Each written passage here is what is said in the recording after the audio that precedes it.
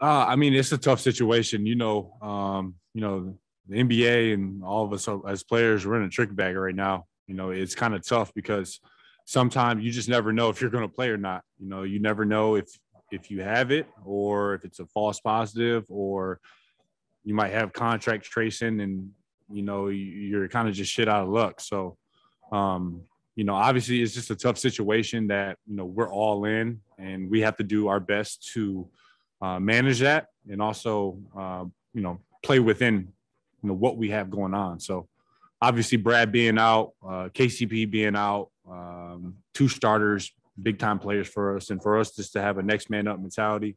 Corey coming in, um, you know, having five, six guys uh, in double figures, know, that's big time.